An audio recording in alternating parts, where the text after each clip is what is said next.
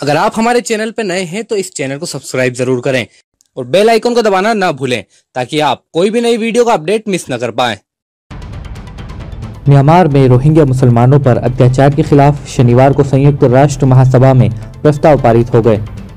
UN के एक सदस्य देशों में से एक ने प्रस्ताव का समर्थन और नौ देशों ने विरोध किया, जबकि 28 देश वोटिंग में शामिल ही नहीं हुए।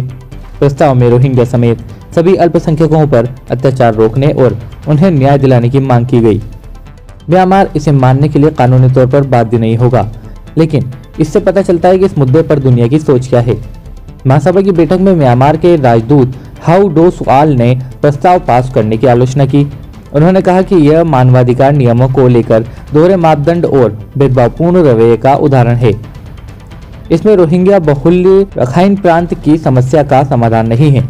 म्यांमार पर अवांछित राजनीतिक दबाव बनाने के लिए प्रस्ताव पेश किए गए। रोहिंग्या मुसलमानों पर म्यांमार के सुरक्षा बल और सेना के अत्याचार का मुद्दा इंटरनेशनल कोर्ट ऑफ़ जस्टिस में दक्षिण अफ्रीकी मुस्लिम बहुल्य देश गांबिया ने उठाया था। उसने 12 अन्य मुस्लिम देशों के साथ मिलकर इसे आईसीजे के समक्ष रखा था। इसी महीने नोबेल पुरस्कार विजेता आंग सान सू की ने आईसीजे में म्यांमार का पक्ष रखा था। उन्होंने कोर्ट को बताया कि रखाइन में हुई हिंसा एक आंतरिक विवाद है।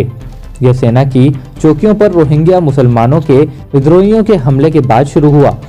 सूकी ने कहा था कि हो सकता है कि सैनिकों ने युद्ध अपराध किए हों। इस स्थिति में उनके खिलाफ कार्रवाई होनी चाहिए। म्यांमार एक बौद्ध बहुल्य देश है। यहाँ के रखाइन प्रांत में रोहिंग्या की आबादी सबसे ज़्यादा है। माना जाता है कि रोहिंग्या दूसरे स्थानों से पलायन कर पहुँचे हैं। साल 2017 में सरकार ने रोहिंग्या के खिलाफ सैन्य अभियान चलाने की अनुमति दी। इसके बाद से ही रोहिंग्या मुस्लिम बड़ी संख्या में बांग्लादेश और भारत समेत अन्य देशों में पलायन कर रहे हैं। संयुक्त राष्ट्र के फैक्ट फाइंडिंग मिशन समेत कई स्वतंत्र संस्थाओं ने अपने अध्ययन में रोहिंग्या के साथ म्यांमार की सेना के अत्याचार की पुष्टि की। कुछ ने कहा कि रखाइन में रोहिंग्या मुसलमानों के नरसंहार की जाँच होनी चाहिए।